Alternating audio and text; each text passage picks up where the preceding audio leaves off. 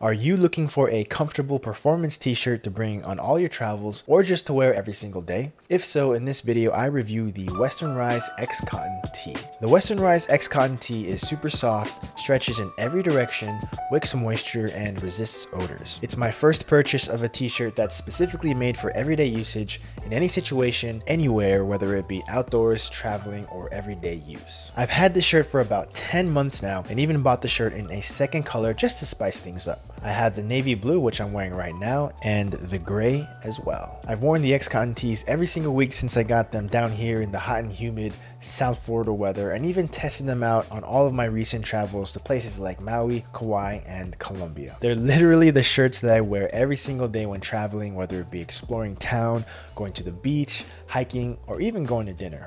Just a quick disclaimer, I'm not affiliated with Western Rise in any way and they did not send me these shirts for free. Bought them with my own money because I did a lot of research, read some reviews, and was impressed with what I saw. So after 10 months of weekly use, how well are these shirts holding? Well, let's get into it. As for the materials and features, the Western Rise X Cotton Tee is cut slightly lean and tailored, has 4-way stretch, is moisture wicking, and odor resistant. It has a heavyweight blend of 60% cotton, 35% polyester, and 5% elastane. At 220 GSM, which refers to the weight of the fabric, the shirt is quick drying, has Polygiene odor control technology, and is UPF 50 for protection from the sun. Other than the gray color, or concrete as they call it, and the navy color that I have, they also have forest green, white, and black. For the price, the X Cotton tee is currently going for $48, which is probably the most expensive t-shirt that I've ever bought. Do I think it's worth it? Stay tuned to the end of the video to find out. As for the fit and looks, I'm wearing a size medium and I'm 5 foot 10. They say it's cut slightly lean and tailored, but it's not so slim such that it shows off my love handles. The entire shirt drapes down effortlessly, looks good on my shoulders, and gives a clean, minimal look. I think the sleeves are just the right length for me, and the shirt is the perfect perfect length as well. Not too long and not too short. As for the pros of the shirt, number one is its fit and look. I just love how it fits and looks on me. As I mentioned, it's neither too tight nor too loose. I really love the concrete color. To me, it's a strong shade of gray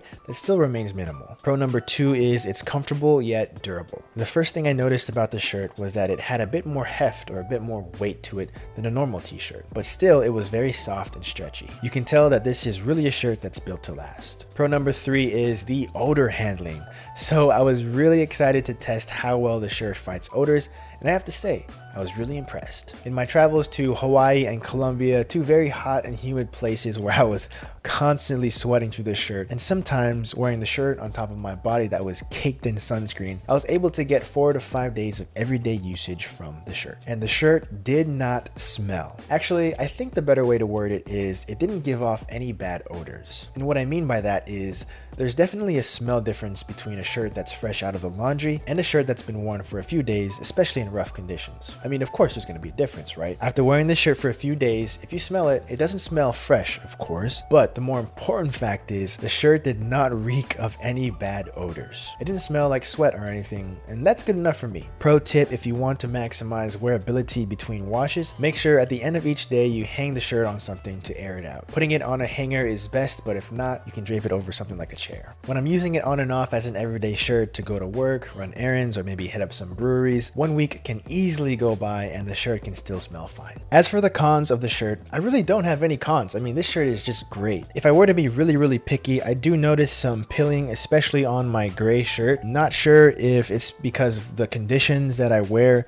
the shirt on or if it's because I'm wearing a backpack a lot on my travels with the shirt. Um, so I'm not really sure if that's a fault of Western Rise, but it could be my fault. I put it in the dryer a few times accidentally. Um, if you have any like tips on how to get rid of shirt pilling, let me know in the comments below. But to me, it's not really a big deal and it's probably not even Western Rise's fault. So just had to point that out. Do I recommend the Western Rise X Cotton Tee? Absolutely. I'm not even kidding when I say I've alternated wearing my two shirts every single week for 10 months and on all of my travels as well. I've also accidentally put them in the dryer a few times and I didn't notice any shrinkage. Overall, these shirts are holding up great and I'm gonna continue using them on a weekly basis and on all my travels as well. The X Cotton Tee is definitely the best shirt that I currently own. Alright, well, I hope you enjoyed my review of the Western Rise X T. And if you did, hit that like button, subscribe for more videos like this, and I'll see you in the next one.